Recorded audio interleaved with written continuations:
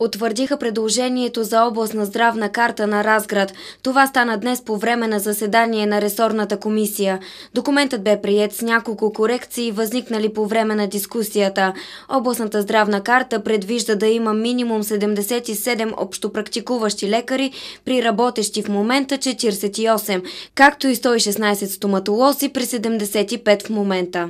Имаме потребност от 29 общо практикуващи лекар, за да достигнем минималния брой. Значи говорим за минимален брой. Дай се Боже да намерим, можем да а, винаги да бъдат настанени за да работят 42 лекаря по дентална медицина за достигане на 116 лекари.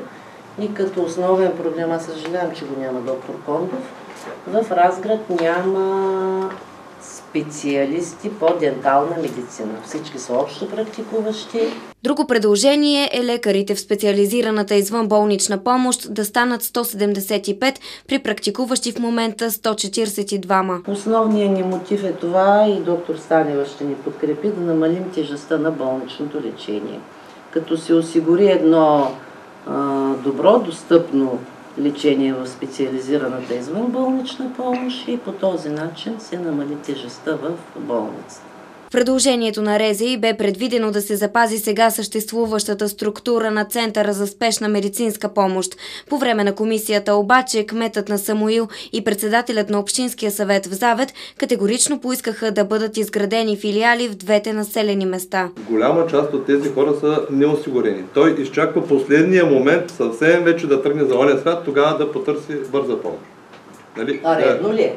Не е редно, но в крайна сметка ние трябва да се съобразяваме и с даденостите. И трябва да се предполагам, че около 2000 човека от община само не са здравно осигурени. Повече. Да. Което означава, че някъде е повече от една трета. Нали, тук идеята е ние да предложим пък големите другари горе, ако не приемат нашето предложение, да са живи и здрави.